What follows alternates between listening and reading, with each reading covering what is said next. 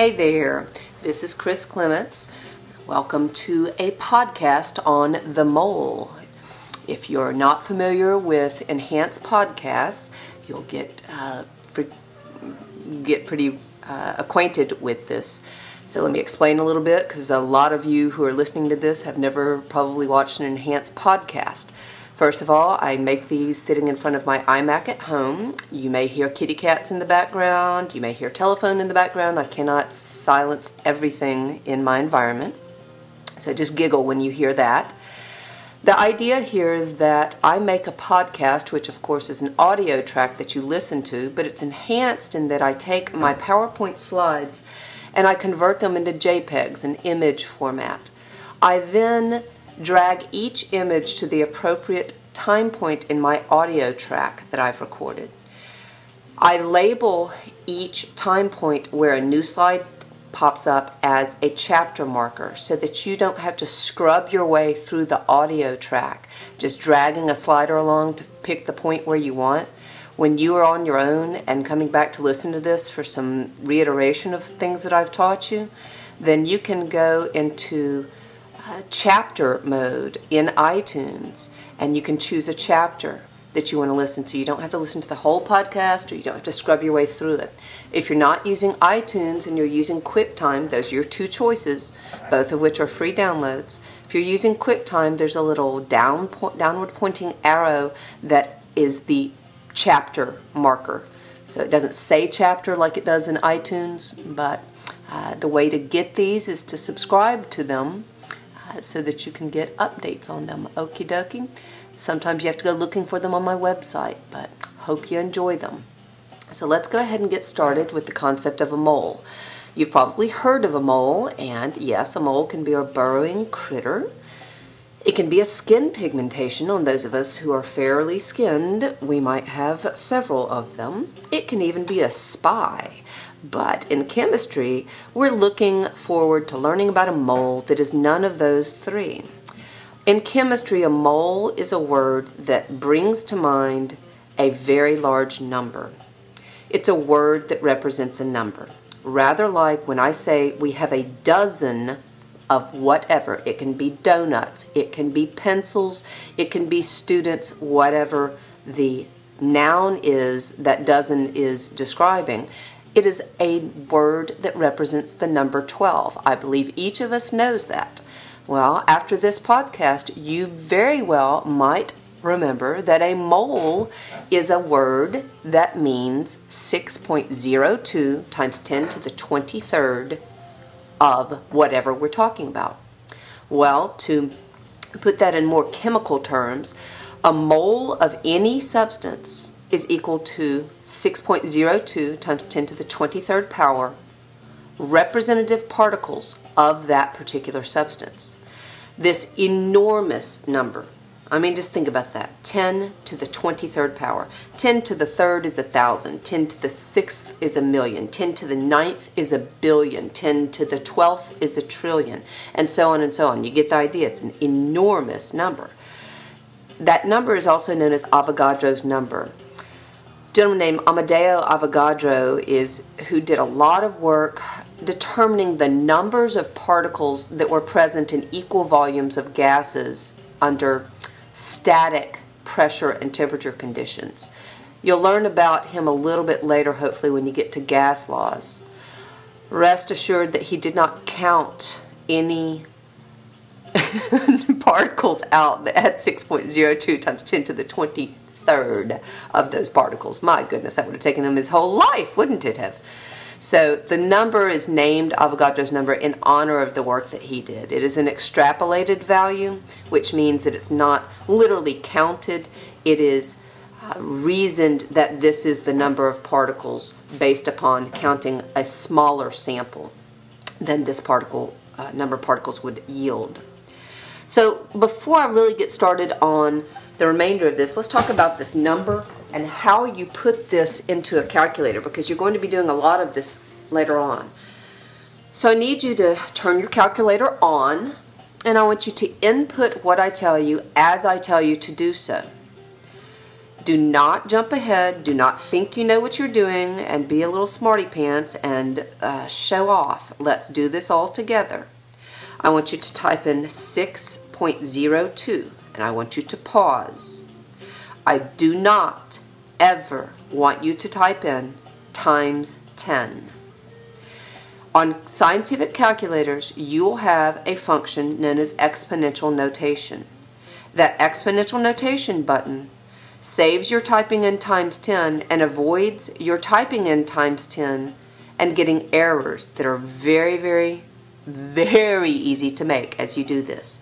So now on your screen, you have 6.02. I want you to look for a button that reads EE, two uppercase E's. Oftentimes it is a second function on a calculator. Or look for a button that says EXP.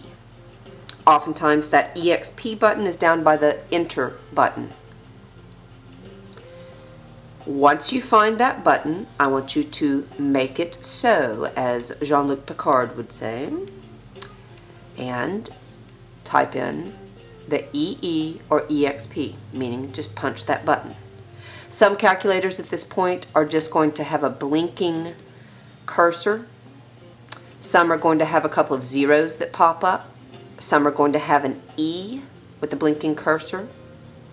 Some are going to have a little bitty times 10 as a superscript that pops up or as something off to the right side that pops up and then a cursor. What you've just done is told the calculator that you want 6.02 to be multiplied by 10 to some power. And what the calculator is now asking you is what is that power?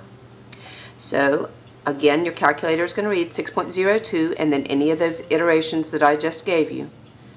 The cursor is waiting for you to tell it the power of 10. Well, the power of 10 is 23. I then want you to type times 2 and then enter or equals. You should see on your calculator screen 1.204 and then depending upon the previous screen it's going to say e to the 24th or have a space and have 2 4 or have a little bitty times 10 or a decent size times 10 2 4 or as a little superscript 2 4 you need to learn to read the calculator in scientific notation and you do not write what the calculator gives you unless it says times 10. We always write scientific notation as we see it on this screen right now. 6.02 literally times 10 to the 23rd power. We never type it into the screen of the calculator as times 10. So if you did not get 1.204 times 10 to the 24th on your calculator, we need to make sure you can, and that means stop the podcast and practice this. You have got to be able to do this to go any further. Okay, if you ended up pausing and you're coming back, let's move on. And remember I said that a mole of any substance is equal to 6.02 times 10 to the 23rd representative particles of that substance. Well, that should bring us to a little concept of G. What is a representative particle? Hmm, something you may or may not have heard before. Well, a representative particle is the smallest part of a substance that still represents that substance. It depends on what the substance is as to what the representative particle is called. Thus, we have to be able to classify substances. So we have three classifications of substances. They can be elements, molecular compounds, or ionic compounds. If we're talking about an element, I want you to look at your periodic table. Everything on that periodic table is indeed an element, but there are seven elements on that periodic table that do not exist by themselves in nature. They exist as diatomic molecules, which means when they're written by themselves, they always have a subscript of 2. There's a silly little mnemonic device that I teach my students that is Brinkelhoff. It is no one's name. It simply represents the seven elements bromine, iodine, nitrogen, chlorine, hydrogen, oxygen, and fluorine. Now, if you look at the periodic table, start at nitrogen, move over to oxygen, to fluorine, and down to iodine, You see that they make, as you draw your hand along those, a number seven. But there are only six elements there. So then your brain has to remember, oh, there's a hydrogen. That goofy little element hydrogen that, ooh, is so prevalent everywhere is also one of these. So you can use either of those methods to help you remember what the diatomic elements are. So what I'm getting at here is that anything on the periodic table that is not one of those seven diatomic molecules is considered an element for our purposes. And you'll hear a kitty cat in a minute. He's coming in. The other two types of substances are molecular compounds and ionic compounds. Well, we need to be able to classify the differences between the two. A molecular compound is made of two or more nonmetals, and that means you need to be able to look at a periodic table and determine where the nonmetals are. You should have learned at this point where the semi-metal line, little stair-step line, or the metalloid line, both names are appropriate, is on the periodic table. And you should have learned at this point that metals live to the left of that semi-metal line. Nonmetals live to the right of it. Those that live along that line are the semi-metals or metalloids, with a few exceptions, meaning aluminum lives on the line, but certainly aluminum is considered a metal because it has such strongly metallic properties. Okay, that means when you look up a molecular compound, you've got to recognize that it's made of two or more nonmetals. Some examples, if you just look at the nonmetals on your periodic table, are carbon dioxide, water. Now, gee, I threw that one in there because hydrogen is not to the right of the semi-metals. It is indeed to the left, but it, being its goofy little self, is weird. And it is indeed a non-metal that happens to live over with all of the metals. So you consider hydrogen to be a non-metal. So again, carbon dioxide and water, carbon monoxide, nitrogen dioxide, sulfur trioxide, and any of those seven diatomic molecules. So Br2, I2, N2, Cl2, H2, O2, F2. All of those are examples of molecular compounds. Ionic compounds are made of a metal and a nonmetal that have bonded. Or we can look at an ionic compound as containing at least one polyatomic ion. Hopefully you've learned a little bit about polyatomic ions and can recognize them. So some examples of ionic compounds. I look on the left side of the stair-step line and on the right side and pick a metal and pick a nonmetal. So of course everybody always likes to choose NaCl. Mm-hmm, yeah, I know, it's boring. So let's get a little more exciting. Let's try making something like magnesium oxide. It's MgO. Magnesium is a metal, oxygen is a nonmetal. How about copper 2 sulfide? CuS. Copper is a metal, sulfur is a nonmetal. If I look at polyatomic ions, I can make an ionic compound out of a bunch of nonmetals because they can behave as polyatomic ions. For example, ammonium, mm, let's say sulfate. Its formula is parentheses NH4, parentheses 2, SO4. It's made of a whole bunch of nonmetals. Every element in that compound is a nonmetal. But it's classified as an ionic compound because it is made of polyatomic, what's the key word? Ions. Okie dokie. So that's how we identify our substances.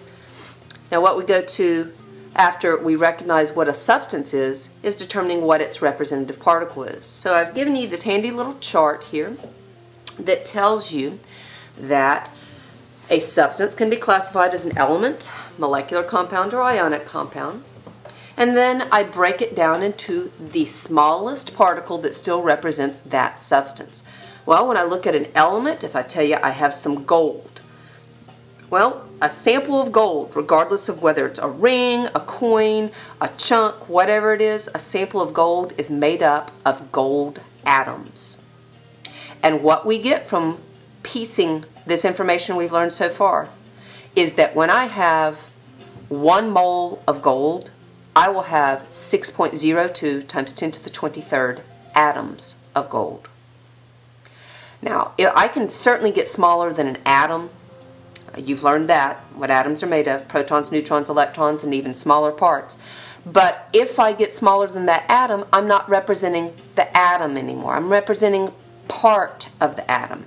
And therefore, I'm not representing the element anymore. So, if, for example, I pull a proton off of gold, well, gee, I have a proton from gold, but that proton by itself is not representative of gold. So, we don't get smaller bits than atoms in chemistry. In nuclear chemistry, we can, but still, they're not representative of the smallest point of, of the element per se. When I look at a molecular compound, for example, carbon dioxide, CO2, a sample of carbon dioxide, if you exhale into a balloon, you exhale more than carbon dioxide. You exhale some nitrogen, some oxygen, some argon, mm-hmm, yeah, all that fun stuff, some H2O in the form of water vapor. But let's say you exhale pure CO2 by some miracle. If you exhaled a mole of CO2, which is pretty hard to do, by the way, we'll get to that a little bit later, you would indeed have 6.02 times 10 to the 23rd molecules of CO2 because the molecule is the smallest part of a molecular compound that is still the compound. So when I have one molecule of carbon dioxide, I have one CO2. Now, that CO2 can be broken down into smaller parts. They're still not representative of the whole, but they can be broken down by smaller parts using chemical means.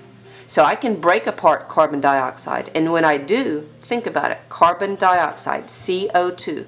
Every time I have one molecule of CO2, I will have four, excuse me, I misspoke, I'm looking at a page. I will have one carbon atom and two oxygen atoms every time I have one molecule of CO2. Well, what if I had 10 molecules of CO2? Well, gee, I would just distribute that 10 and I'd have 10 atoms of carbon and 20 atoms of oxygen. And then we have our third type of substance, the ionic compound, made of a metal and a nonmetal, or at least one polyatomic ion. And the smallest part of an ionic compound that's still represented is called a formula unit. When you have a mole of sodium chloride, you will have 6.02 times 10 to the 23rd formula units of sodium chloride. Yes, that sodium chloride can be broken down into smaller parts.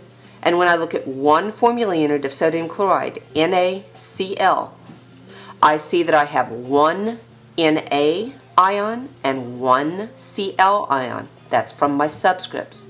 Well, what if I have uh, let's see, MG3 uh, AS2. Well, if I happen to have that, it means that when I have one formula unit of Mg3AS2, I will have three magnesium ions and two arsenide ions. Okay? I'm going to reiterate this as I go through. We're going to go through several, several processes here.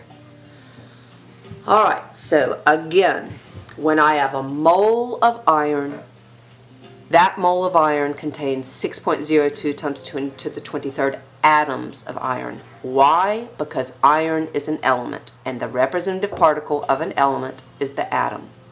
When I have a mole of bromine, that mole of bromine contains 6.02 times 10 to the 23rd molecules of bromine. Why? It is a molecular compound made of two nonmetals that are bonded. Thus, molecule is its representative particle. And again, when I have a mole of sodium chloride, it contains 6.02 times 10 to the 23rd formula units of sodium chloride because it is an ionic compound made of a metal and nonmetal. When I have a mole of sulfur trioxide, SO3, it contains 6.02 times 10 to the 23rd molecules of sulfur trioxide because SO3 is made of nonmetals. It is a molecular compound.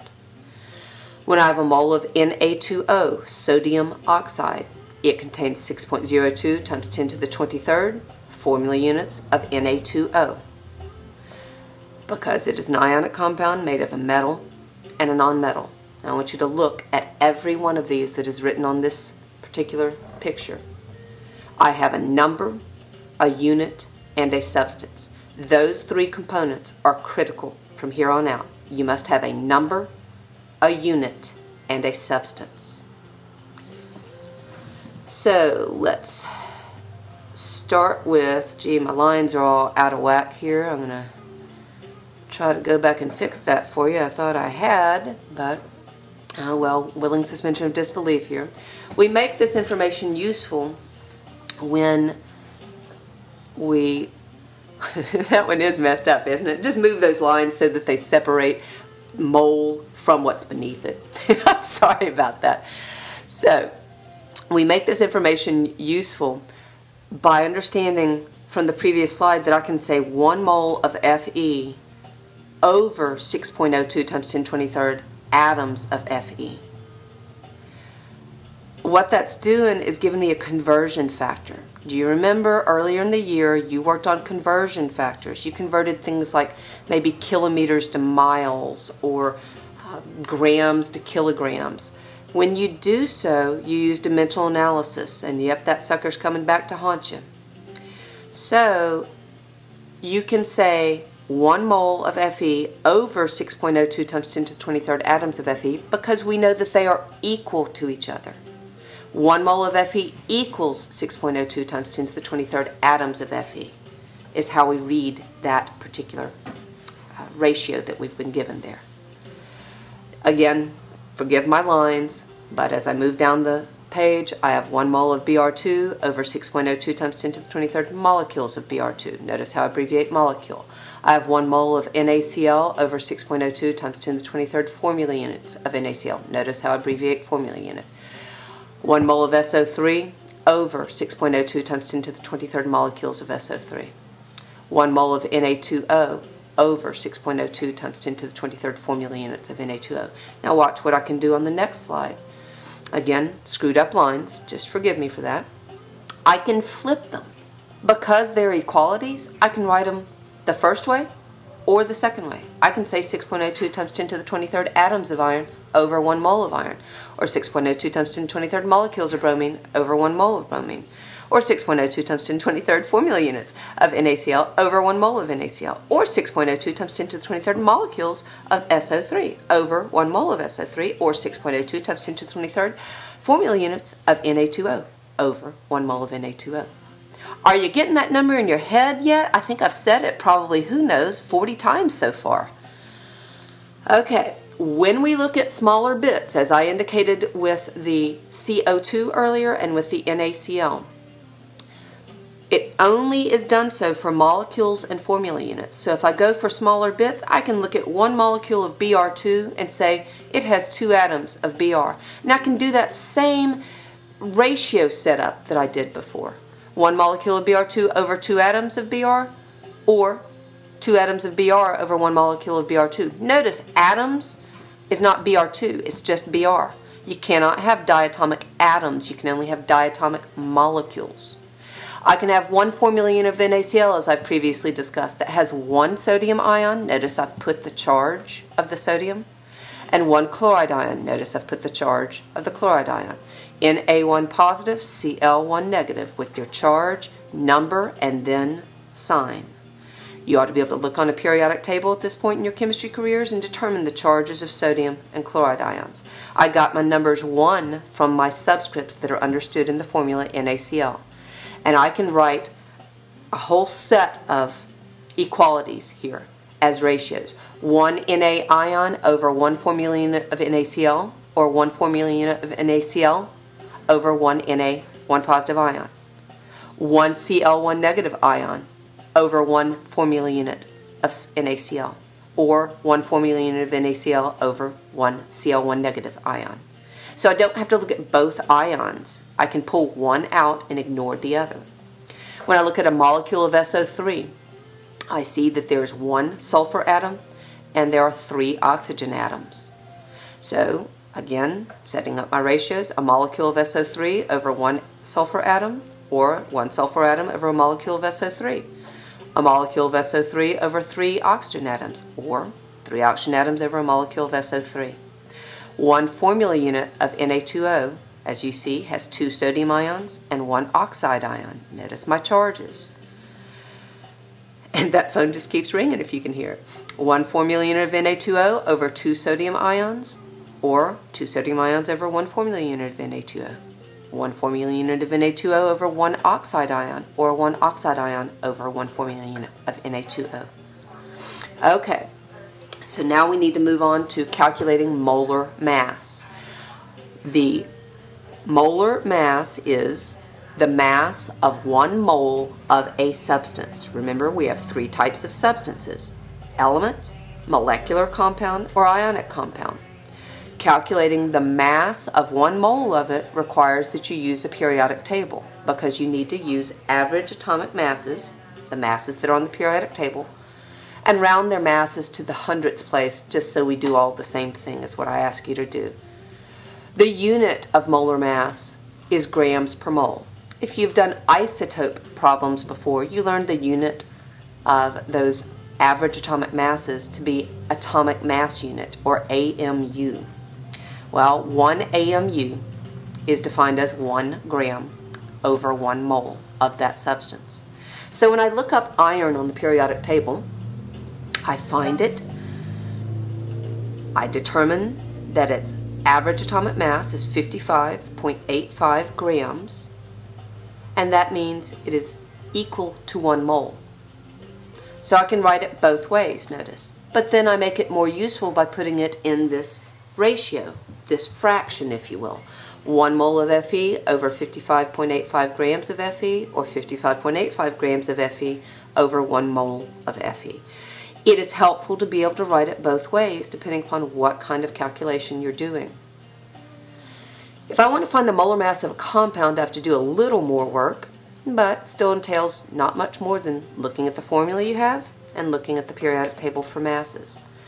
For a compound, you're going to calculate the molar mass by writing down each element that's in the compound. In the case of Br2, we only have Br. We have a subscript of 2 there that tells us we have two BRs. I look up bromine on the periodic table and I see that its average atomic mass is 79.90. I multiply 2 by 79.90 since my subscript told me I had two bromines.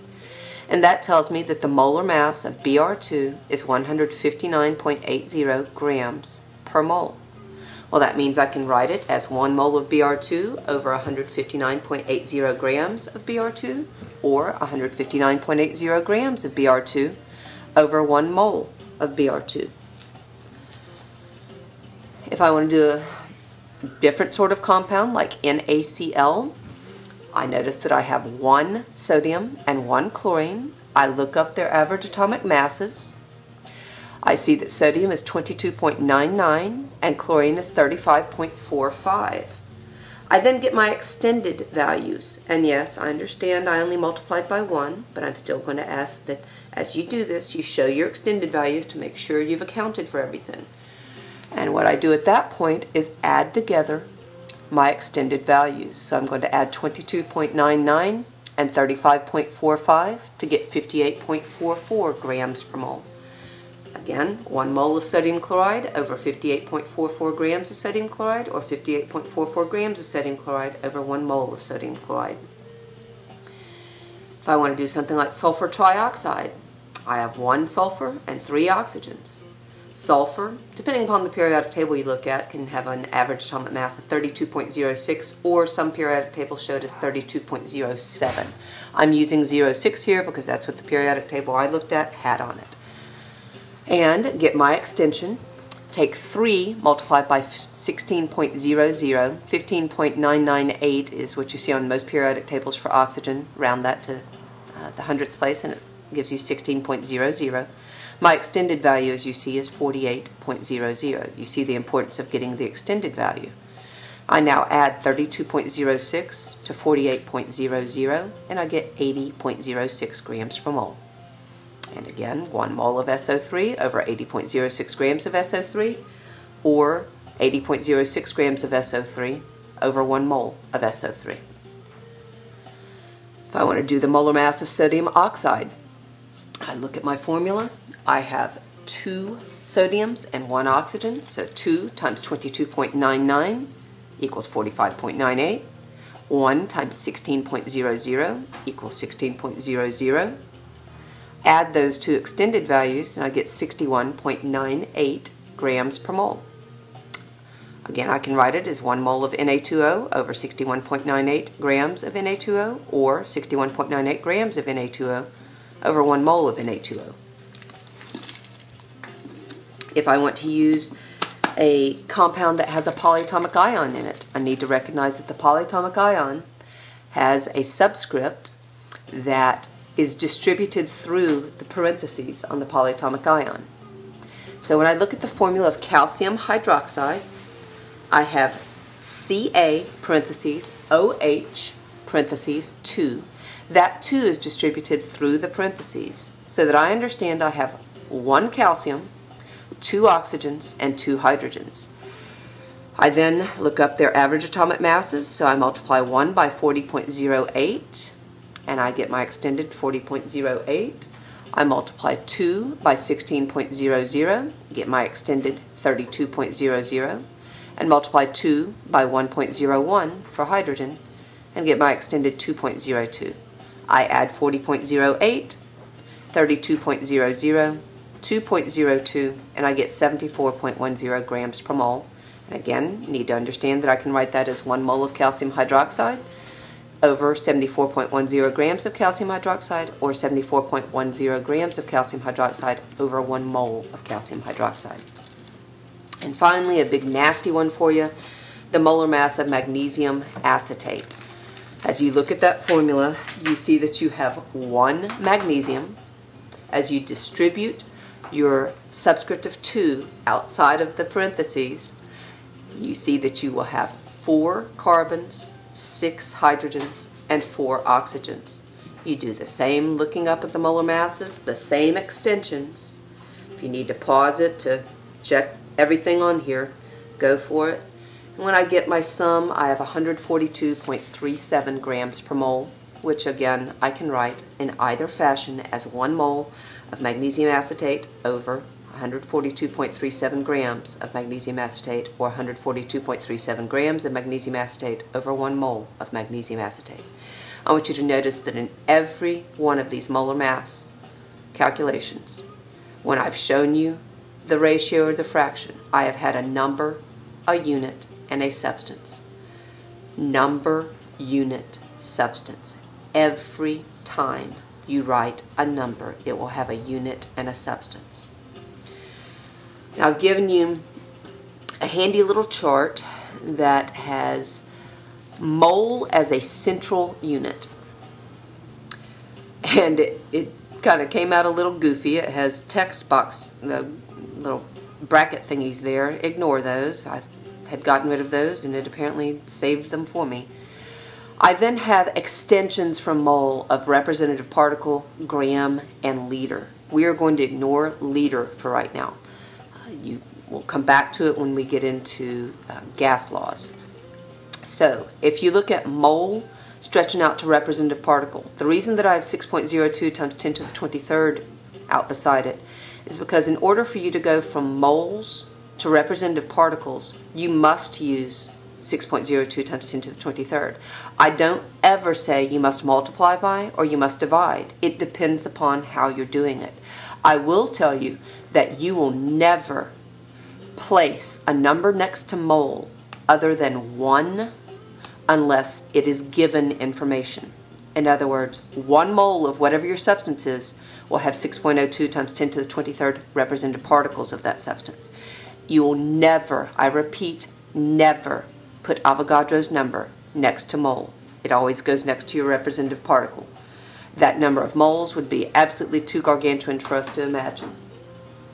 When you convert from moles to grams, I have molar mass written there because you need to be able to use molar mass, which has units of grams per mole, to go from moles to grams or grams to moles. That is why I showed you how to write them with moles on top or grams on top, either way.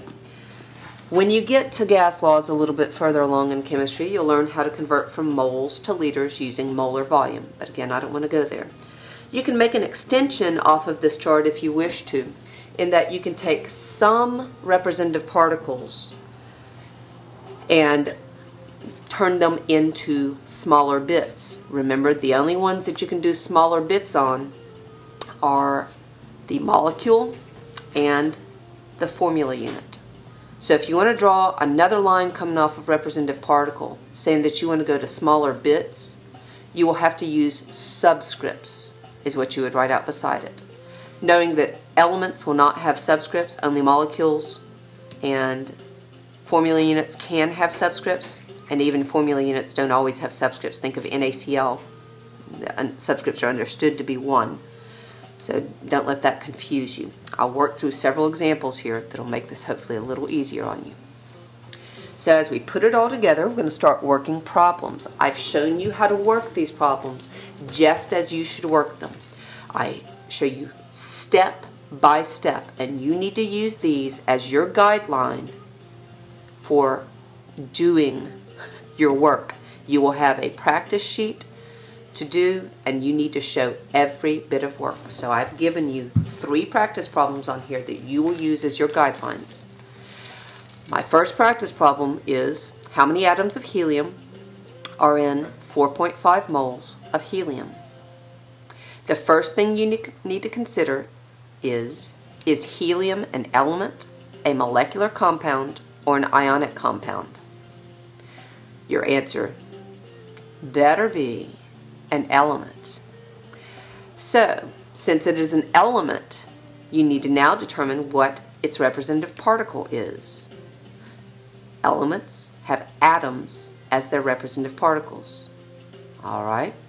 Now you use your given information to begin your dimensional analysis or unit conversion or factor label method. It has lots of different names. You're again always going to write a number, a unit, and a substance. You begin with your given information. As you look at the given information, how many atoms of helium are in 4.5 moles of helium? Well, your given information is 4.5 moles of helium.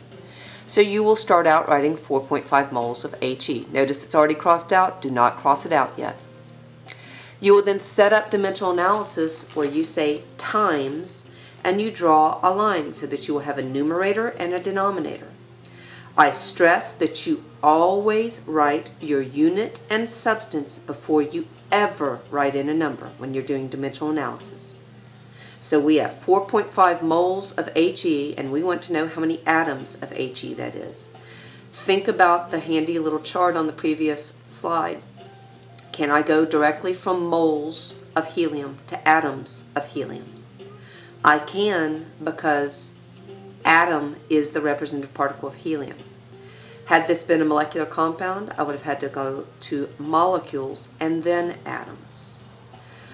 Alright, so I am going to place mole of helium in my denominator, and I'm going to place atoms of helium in my numerator.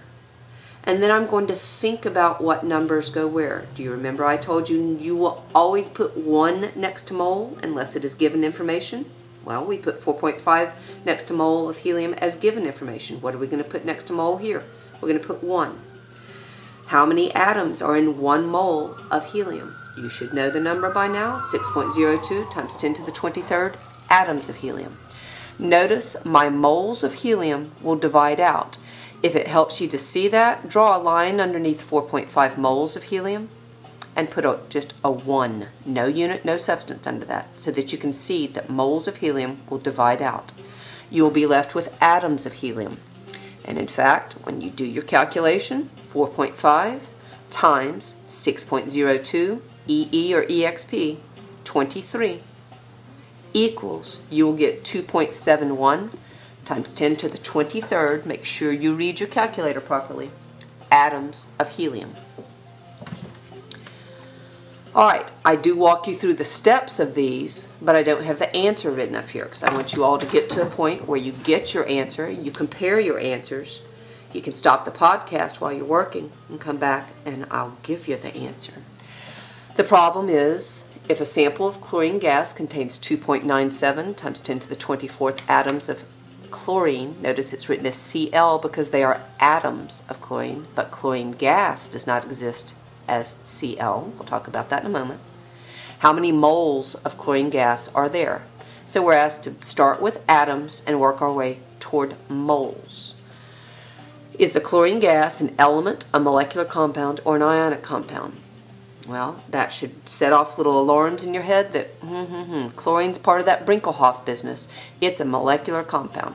Since it's a molecular compound, its representative particle is indeed the, you got it, molecule.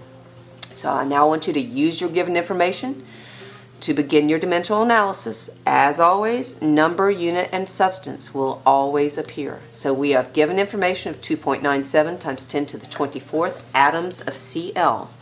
I cannot this time go directly from atoms to moles because I am not dealing with the representative particle of chlorine when I have been given 2.97 times 10 to the 24th atoms of chlorine.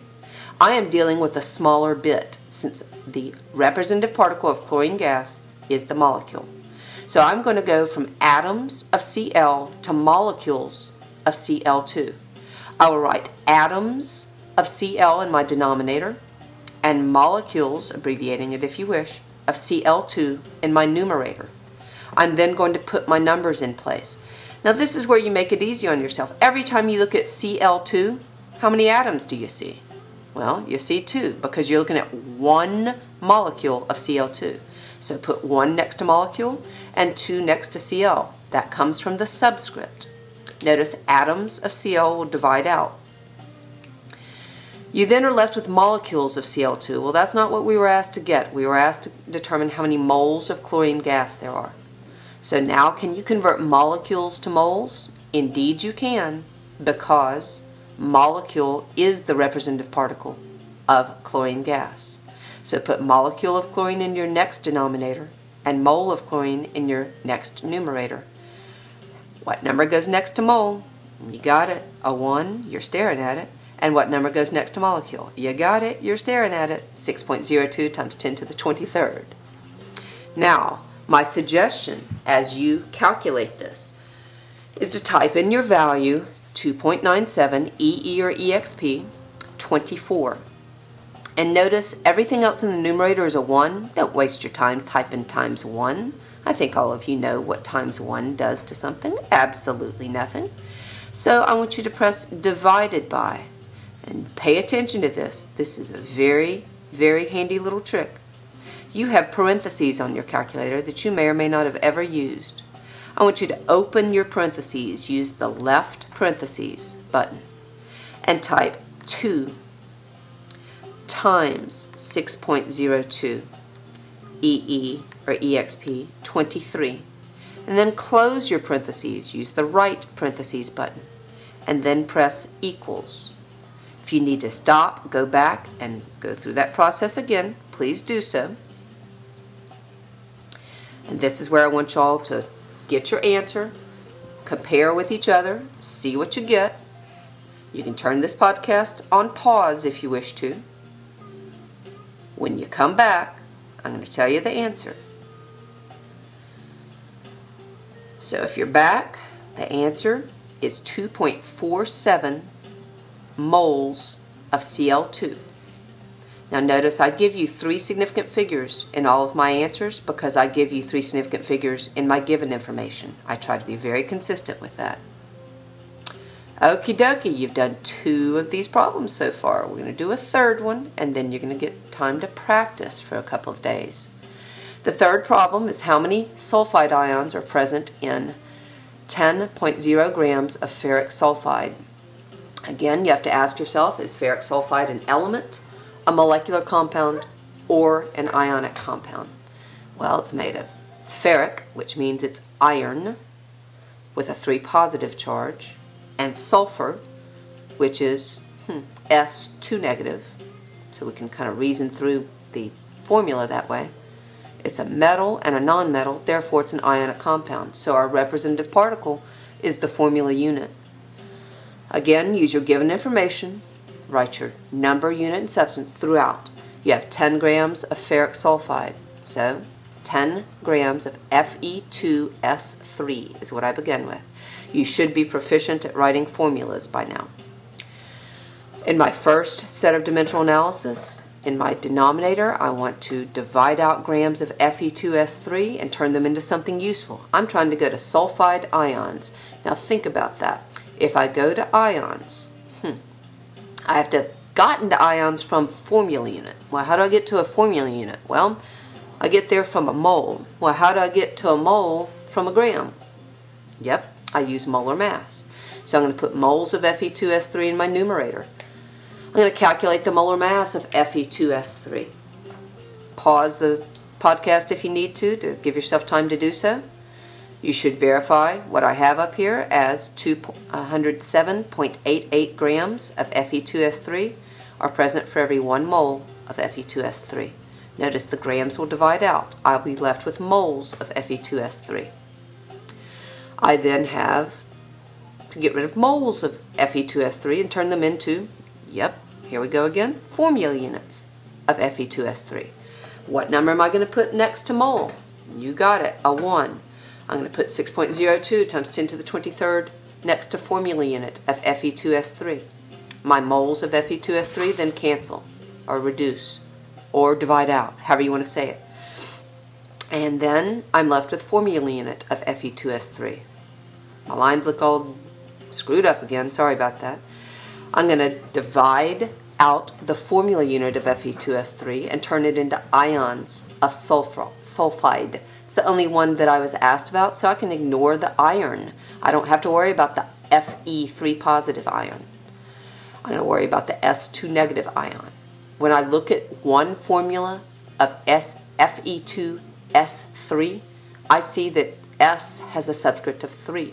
That tells me that there are three ions for every one formula unit of sulfide. Now, if you want to type this one into your calculator, you're going to do 10 times, and look at everything in your numerator, 6.02, EE or EXP, 23, times 3. Notice I didn't use parentheses there because I'm in my numerator. I then hit equals, and if you want to stop and write that number down, that's fine. You don't have to hit equals. You can just press divided by. I only have one number in my denominator that I really care about, and that's the 207.88. So I'm going to divide my numerator product by 207.88, and I get 8.69 times 10 to the 22nd ions of sulfide. Again, 8.69 times 10 to the 22nd ions of sulfide. Okay, I've worked out three of these. The last two are very long compared to the first one. You don't necessarily have to do a whole lot of long ones. I have lots of practice, 10 of them on a practice sheet for you if you're so interested. You can find it on my website. You can uh, be gifted it by your teacher who might make a copy for you. You just heard a cat tear off.